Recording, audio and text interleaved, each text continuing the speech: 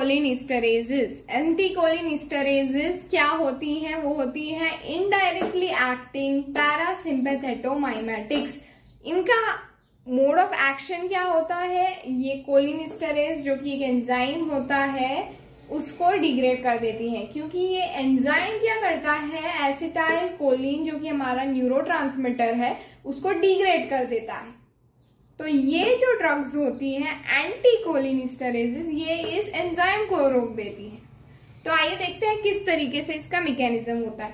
तो कोलिनिस्टरेज जो कि एंजाइम है, उस पे दो साइड्स होती हैं, एक एनायनिक साइड और एक ईस्टरैटिक साइड एनायनिक साइड और स्टेराटिक साइड इन दोनों ही साइड्स पे एसिटाइल कोलिन जो कि हमारा न्यूरो है, वो बाइंड हो जाता है।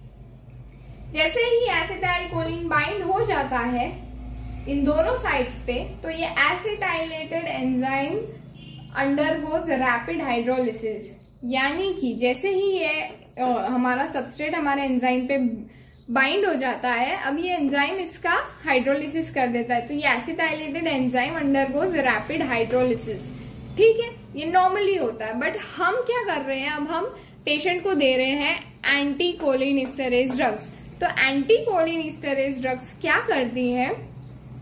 एंटी कोलिनिस्टरेज ड्रग्स जिसमें कि हमारे पास है दो तरह की रिवर्सिबल और इरिवर्सिबल ये अलग अलग मैकेनिज्म द्वारा इस एंजाइम की इन साइड पे बाइंड हो जाती हैं जिसके कारण कंपटीशन होता है एसिटाइल कोलिन के बीच में और इन एंटी कोलिन ड्रग्स के बीच में। सो so, ये ड्रग्स जब इस साइड पे बाइंड हो जाती हैं तो एसिटाइल कोलिन बाइंड नहीं हो पाता है, जिसके कारण एसिटाइल कोलिन डिग्रेड नहीं हो पाता है, और जो एसिटाइल कोलिन है, वो रिसेप्टर्स पे ही चिपका रहता है, और उसकी एक्शन जो है वो प्रोलॉन्ग हो जाती है। Now if we talk about mechanism of anticholinesterase तो सबसे पहले हम समझते हैं, दो तरह की होती है रिवर्सिबल और इरिवर्सिबल तो ये रिवर्सिबल जो एंटीकोलिनिस्टरेज है, ये बोथ ट्रू और स्यूडो कोलिनेस्टरेज दो तरह के कोलिनेस्टरेज होते हैं ट्रू एंड स्यूडो उन दोनों को ही इनहिबिट करती है। और कैसे? रिवर्सिबली इनहिबिट करती है। रिवर्सिबल एंटीकोलिनिस्टरेज में हमारे पास आती है कार्बामेट्स जिसमें है नियोस्टिगमिन रिवास्टिगमिन पैरिडोस्टिगमिन फाइसोस्टिगमिन और अदर ड्रग्स जिसमें डोनप्राजिल गैलेंटामाइन टैक्राइन और अल्कोहल वाली इड्रोफोनियम ठीक है तो इसमें जो कार्बामेट्स है, इसका मोड ऑफ़ एक्शन ये रहता है कि ये जो है ना, ये इस एंजाइम की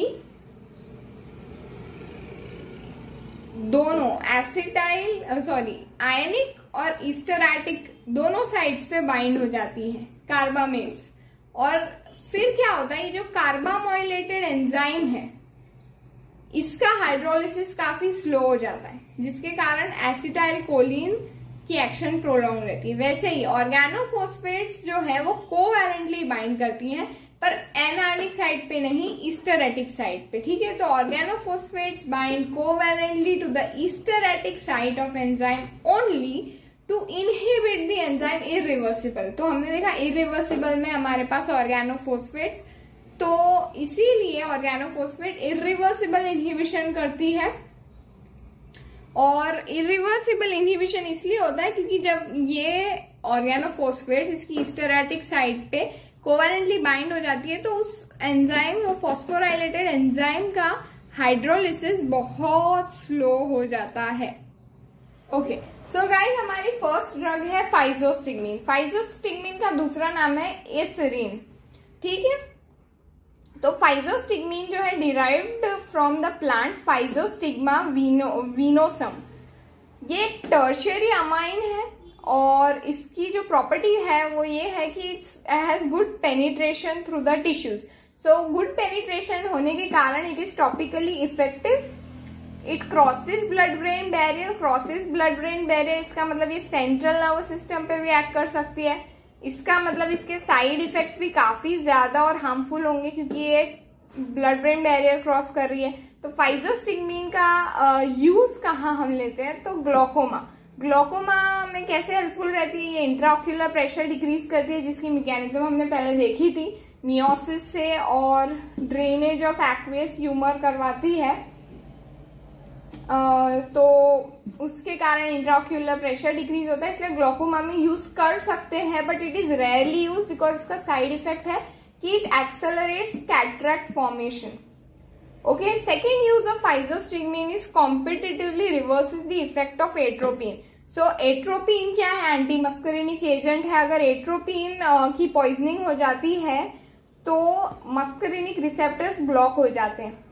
तो उस कंडीशन को कॉम्पिटिटिवली रिवर्स करने में physostigmine is very helpful and slow IV दिया जाता है इसका, क्योंकि अगर हमने स्लो नहीं दिया फास्ट दिया तो ब्रैडी कार्डिया हो सकता है which is fatal okay so we are talking about next drug neostigmine neostigmine हमने फ़र्स्ट ईयर से ही पढ़ रखी है माइस्थेनिया ग्रेवीज में दी जाती है.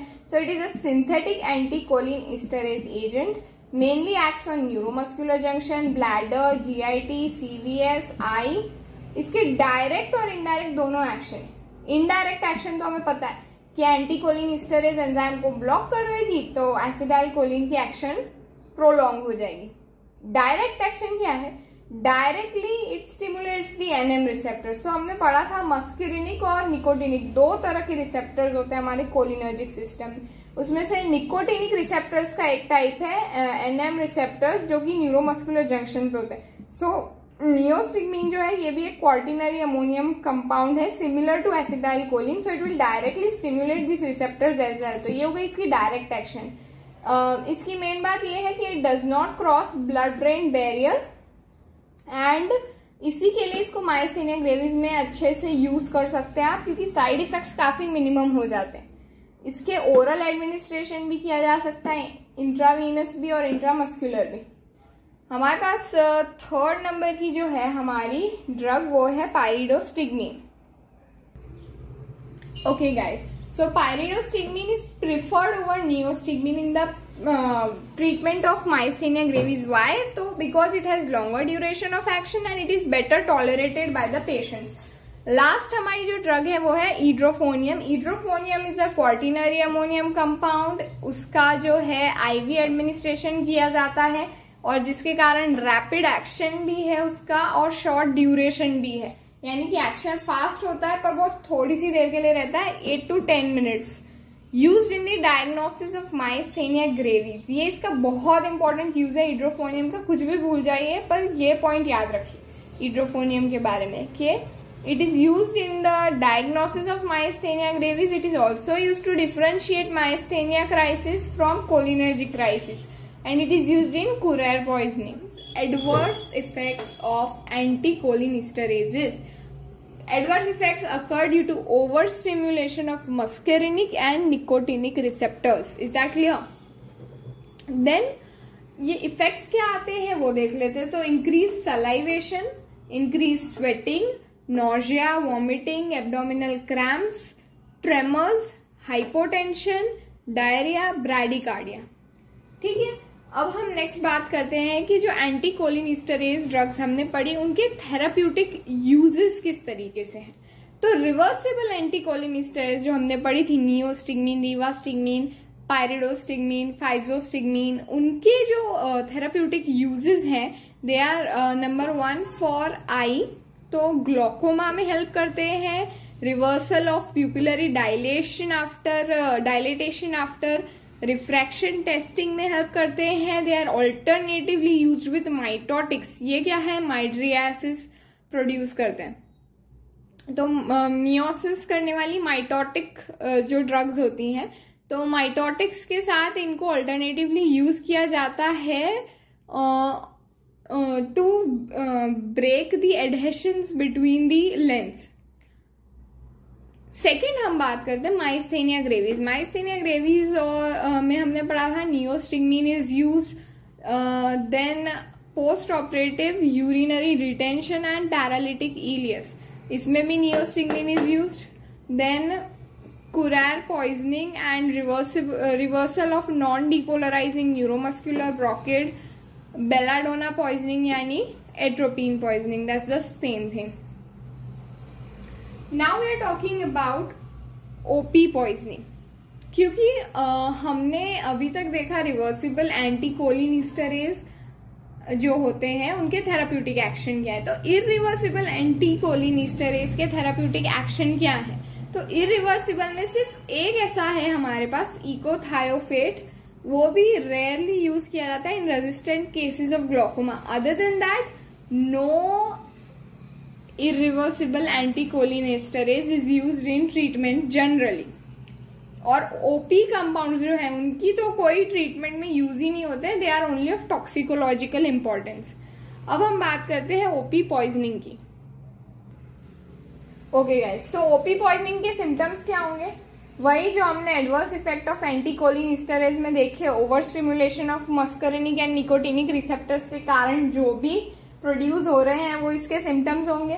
तो सबसे पहले sweating salivation miosis involuntary urination defecation फिर nausea vomiting abdominal cramps tremors hypotension diarrhoea bradycardia ये सब जो हमने देखे एडवर्स इफ़ेक्ट ऑफ़ एंटीकोलिनिस्टरेजिस वही इसके सिम्टम्स होंगे ओपी पॉइजनिंग के। डायग्नोसिस कैसे किया जाएगा? तो history of exposure signs and symptoms and estimating the activity of cholinesterase enzyme in blood which will definitely be decreased. Treatment की अगर हम बात करें तो ट्रीटमेंट क्या है कि सबसे पहले तो कंटेमिनेटेड क्लोथ्स को रिमूव कर दिया जाइए फिर गैस्ट्रिक लैवेज डायजेपाम दी जाती है to control convulsion and then we have primary and जो ट्रीटमेंट्स हमने देखी ना एबीसीडी एयरवे ब्रीदिंग सर्कुलेशन वो वाली एंड आर्टिफिशियल रेस्पिरेशन देना चाहिए फ्रिक्वायर्ड हम बात करते हैं अब स्पेसिफिक मेजर्स जो ओपी पॉइजनिंग में लेने चाहिए. सो so, स्पेसिफिकली जो चीज़ करनी चाहिए उसमें यह है कि एट्रोपिन सबसे पहले एडमिनिस्टर किया जाता है. Two M G I V start repeated after five to ten minutes uh, that too with doubling the dose if required. And atropine should be continuous for uh, 7 to 10 days after poisoning. And uh, ये तो हमने atropine के बारे में पढ़ा कि it is a specific major but atropine की एक लिमिटेशन है कि it is not useful in the reversible reversal of neuromuscular paralysis तो न्यूरोमस्क्यूलर पैरालिसिस को ट्रीट करने के लिए हमें कोलिनर्जिक रिएक्टिवेटर्स देने पड़ते हैं जैसे कि पैरालिक सॉरी प्रेलिडोक्साइम और ऑबिडोक्साइम तो ऑक्साइम्स बेसिकली करते क्या है? ये हमारा एसिटाइल कोलिन एस्टरेज एंजाइम का एक डायग्राम समझते हैं। तो एनायनिक साइट है और एस्टरेटिक साइट है। तो नॉर्मली ओपी पॉइजनिंग में हो क्या रहा है? ओपी कंपाउंड जो है वो एस्टरेटिक साइट पे आके बाइंड कर रहा है। कोवेलेंटली सिर्फ़ इस, इसी साइड पे एनायनिक साइड पे नहीं। और फॉस्फोराइलेशन करा रहा है जिसके कारण इस एंजाइम का हाइड्रोलिसिस अब डिफ़िकल्ट हो चुका है। तो कार्बामेट्स क्या करते हैं? सॉरी कार्बामेट्स नहीं ऑक्साइम्स क्या करते हैं? वो आते हैं एनायनिक साइड पे बाइंड होते हैं और जो OP compound already esteratic side पे बाइंड होके फॉस्फोराइलेशन करवा चुका है, उस फॉस्फोराइलेशन को वापस से डिफॉस्फोराइलेट करते हैं। तो ये लोग कर क्या ये जो है ऑक्साइम्स हमारे, ये कर क्या रहे हैं? रिएक्टिवेशन ऑफ़ एंजाइम्स कर रहे हैं।